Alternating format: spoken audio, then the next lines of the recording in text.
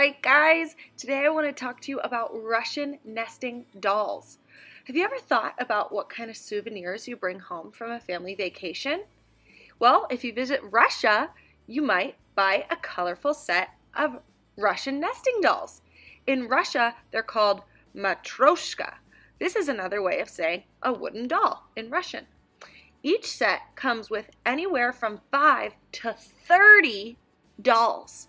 The outermost doll is always a woman. She is a symbol for motherhood and good health. A symbol is a picture that stands for a bigger idea. The very first Russian uh, doll was created from wood by a wood carver. The doll was then painted by a folk artist. He painted a Russian woman in a yellow jumper dress and green shirt holding a black rooster under one arm. She also wore a white apron and a brown scarf over her head. Inside this mother doll were seven others six girls and one boy, all holding items like hens and bowls. The smallest doll was a baby wearing a diaper. Since then, the dolls have become more decorative with flowers, strawberries, and birds painted on them. They even make sets showing religious figures, famous peoples, and Russian leaders. It all begins with the perfect piece of wood by a linden tree. The wood is then cut into blocks and carved using a chisel and a knife on a machine called a lathe. The top and the bottom of the doll are each carved from their own block. Then they are sanded down with sandpaper to make them smooth and sent off to be painted. All right, so now that we've just learned about Russian nesting dolls, I'm so excited for us to draw our own. So, you need a white piece of paper. You are going to start with a pencil you know me, on our videos, I always start with a Sharpie because I really want you to be able to see what I'm drawing on the video. Now, I have this little idea sheet that you can look at for ideas on how to draw your nesting doll. And you can see uh, over here, all along here, there's ideas for your head, ideas for your hair, ideas for your face, apron, decorations. Now, does that mean you have to do one of the options that's on this paper? No, but it's there to help you in case you're stuck or you want to use one of these ideas, right? So, we're gonna start with our head. And I know I just said I was gonna use my Sharpie, but just to start off, because I'm just so weird about wanting to start with a pencil, I would never just jump right in with a Sharpie. But like I said, I want you guys to be able to see. So I'm just going to start with my pencil just for my circle because I want to make sure I make a nice circle. And then I'll do everything else with my Sharpie.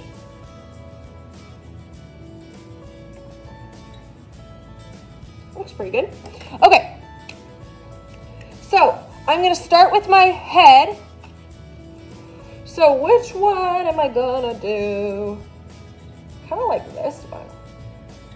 Maybe a combination of this one and this one because I kind of like the bow. We'll see. Okay, so I'm gonna start with my head. So that's another thing you can do. If you're like, I kind of like the eyes on this one, but the mouth on this face or whatever. You know, you can definitely mix and match things, right?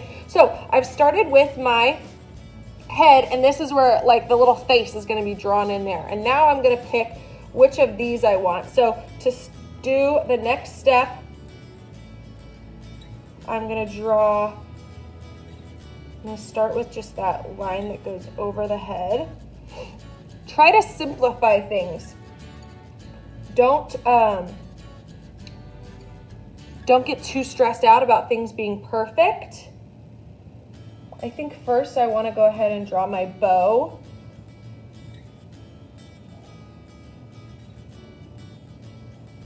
And like I said, feel free to change things up and make things your own and uh, make them unique however you like.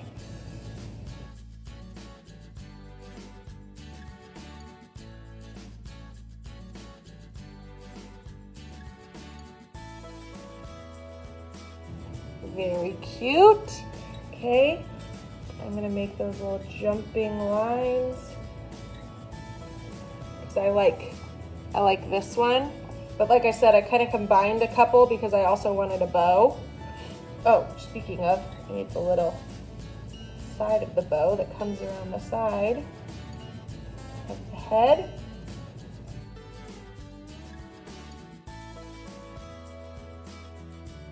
I can put this little idea sheet just to kind of get that general shape to start. If it helps you, you can start with that shape first, like draw this first, and then you can add all these other details on there. I probably should have done it that way, but that's okay.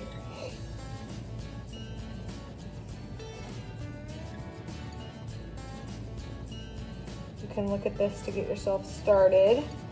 There we go. It's looking pretty good. Okay, I'm gonna set this back off to the side. All right, now I'm ready for my hair. I think I kind of like this one where the hair looks kind of curly.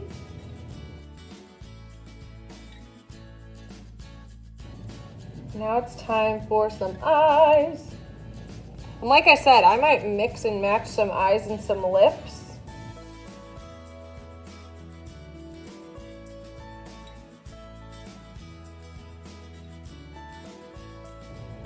And when you get your Sharpie or your black marker or your black crayon, you can color in the pupils of your eyes.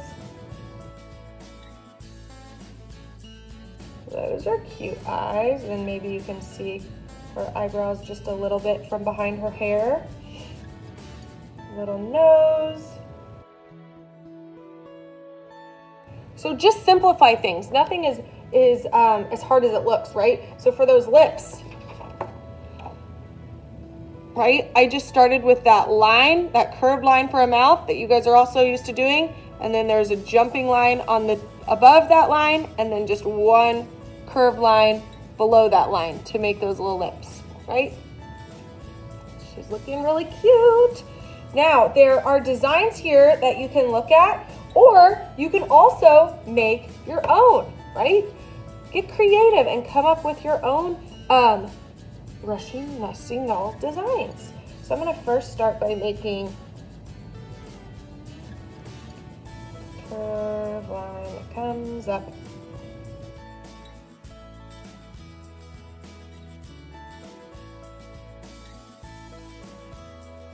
Hmm, that's kind of cute. Okay, and I'm gonna do this little jumping line that comes all the way around just to add more detail. Okay, and then there's also some designs for down here. I like this little um, branch looking one. It looks like a little branch with leaves. But I also think I'm gonna do one or so of these in here just to add a little bit more designs around my little rooster.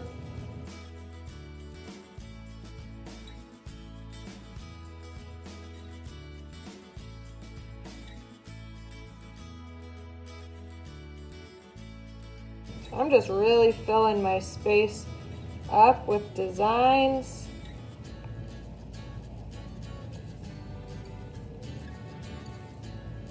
Oh, looking so cute. Okay, now this is the point where you guys would go over your pencil lines with a black marker, a black Sharpie, a black crayon.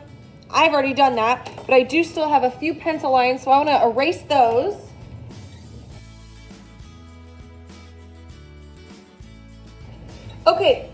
Smaller details, I'm gonna color those in with crayons. And then uh, for these bigger spaces, I'm gonna do that water te watercolor technique. But of course, you can color yours in how you'd like, or if you have, I mean, use the supplies that you have at home, right? Use oil pastels if you have them, watercolors if you have them. I know you, some of you have some really cool stuff, and if you wanna use them, I say go for it. So I'm gonna uh, set that other paper off on the side because I don't need that anymore. I'm gonna grab my crayons and start coloring in my small details.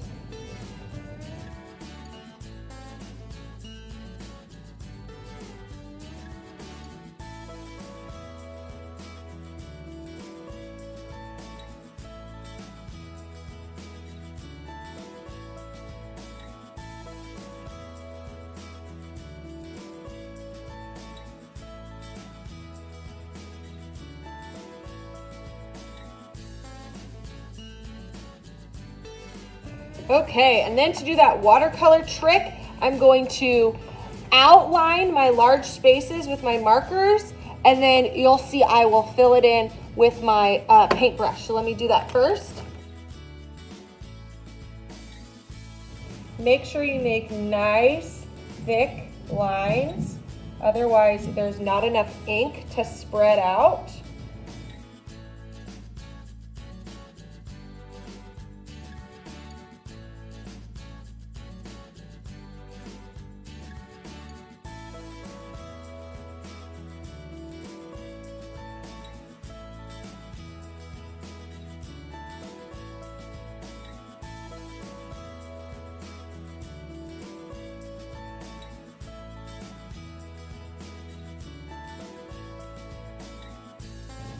Okay, so now that I've outlined all my large spaces, then I can get my um, paintbrush and my water bowl, or if you don't have a paintbrush, remember you could also use a um, Q-tip. So I'm going to get my brush wet and then just go towards the edges of things, the edges of those marker lines I just drew, and then pull them towards the center to fill up the rest of that space. And then you're turning your markers into little watercolors.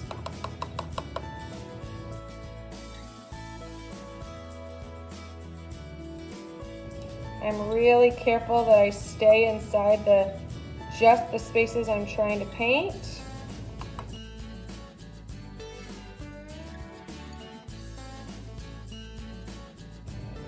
Longer you leave that water on there, the more it kind of bleeds and fills up that space even more.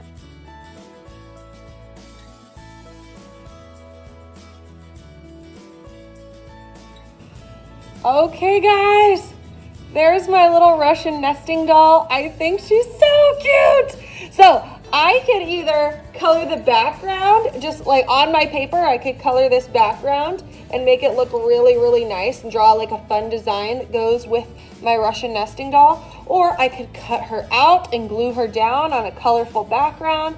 It is up to you to finish these off and make them look so fun, but I really can't wait to see your Russian nesting dolls. They're gonna be so, so cute.